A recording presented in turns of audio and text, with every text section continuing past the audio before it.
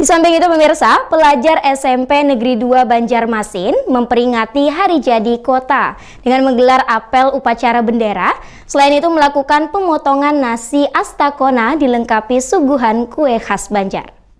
Ada yang tampak berbeda di halaman SMP Negeri 2 Banjarmasin. Di pintu masuk sekolah tersebut terlihat maskot bekantan. Diperagakan pelajar setempat menggunakan kostum lengkap. Tak hanya itu, karnaval busana yang menggambarkan kekhasan masyarakat Banjarmasin. Para pelajar ini juga memperingati hari jadi ke-492 kota dengan menggelar apel upacara bendera Senin 24 September 2018. Pada upacara itu dilakukan pemotongan nasi astakona oleh Kepala SMP Negeri 2 Banjarmasin, dilengkapi suguhan kue khas Banjar. Pada upacara itu juga membacakan sejarah singkat kota Banjarmasin oleh guru setempat. Kepala SMP Negeri 2 Banjarmasin Satoli menyatakan, dengan peringatan hari jadi kota Banjarmasin ini diharapkan menjadikan generasi muda, khususnya pelajar SMP Negeri 2 Banjarmasin, mengetahui tanggal kelahiran dan sejarah kota Banjarmasin. Kegiatannya hari ini yang pertama kita seperti biasa upacara, sekaligus memperingati uh, menjadi kota Banjarmasin dan selanjutnya uh, pertandingan pertandingan ataupun perlombaan perlombaan uh, yang sifatnya tradisional. Me acara hari ini untuk memeriahkan acara Kota Banjarmasin, ulang tahun Kota Banjarmasin. Uh, setelah ini ada perlombaan seperti lomba-lomba khas dari Banjarmasin. Lomba tradisional. Ya, lomba tradisional. Nah ini kan kalian pakai kostum Bang Anten nih, kenapa nih jadi terpikir untuk Karena maskot dari Kalimantan Selatan sendiri adalah Bakantan. Kenakan pakaian apa ini? Kayak Galuh Banjar. Galuh Banjar ya. Senang ya ya. Mungkin uh, dalam rangka hari apa ini? Memeriahkan hari apa? Jadi kota Banjarmasin.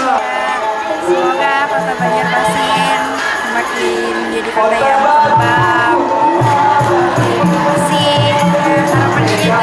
Usai upacara ditampilkan tarian khas Banjarmasin diiringi musik panting oleh pelajar SMP Negeri 2 Banjarmasin. Rijali Apandi, Banjar TV.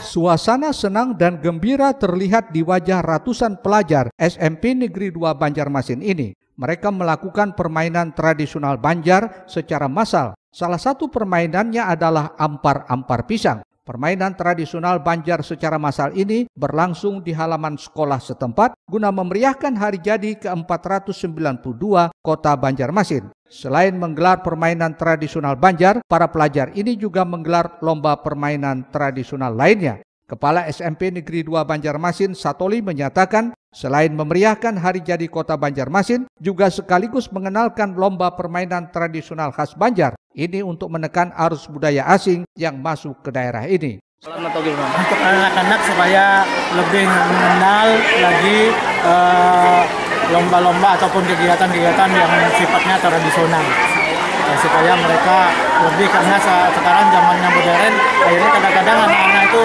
ke mau apa ke kegiatan tradisional kadang-kadang uh, terlupakan. terlupakan makanya di kami dengan adanya uh, kegiatan ini supaya mereka uh, lebih mengenal lebih dalam untuk lomba-lomba uh, tradisional. Satoli berharap dengan para pelajar mengenal permainan tradisional ini mampu terus melestarikannya supaya tidak hilang dan tergerus permainan modern saat ini. Rijali Apandi, Banjar TV.